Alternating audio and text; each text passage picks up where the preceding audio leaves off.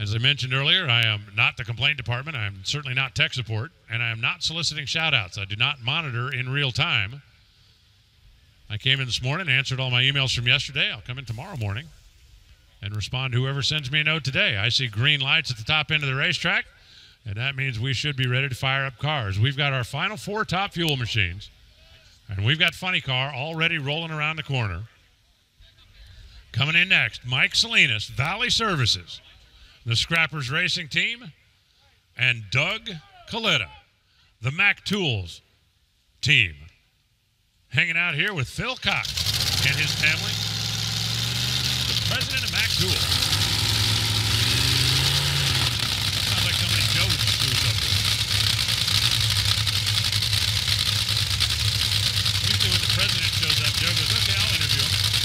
And when the, when the landscape guy shows up, they go, Reinhardt, you can have him.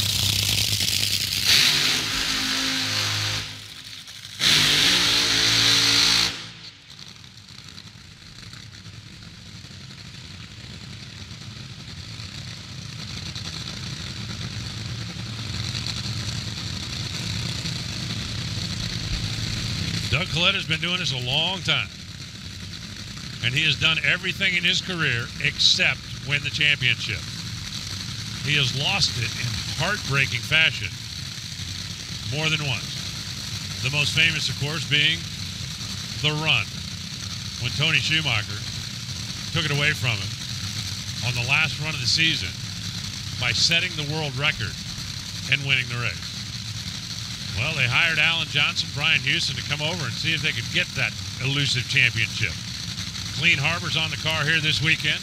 Mac Tools, Team Toyota. And they got a tough customer in the other lane, and that'd be Mike Salinas and the Scrappers boys.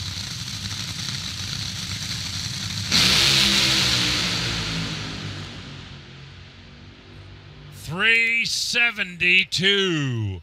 Okay, 329 miles an hour.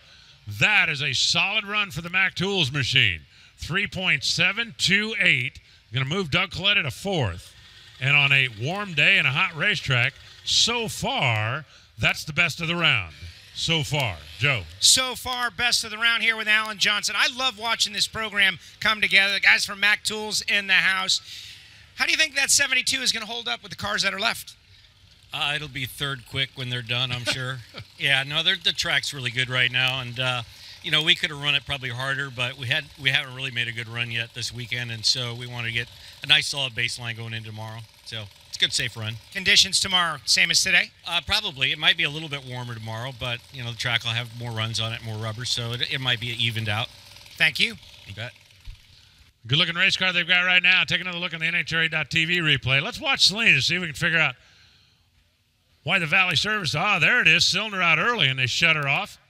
You see that raw fuel coming out of the pipe, and there goes the blower belt. Bye bye, blower belt. See ya. Souvenir. Good looking run.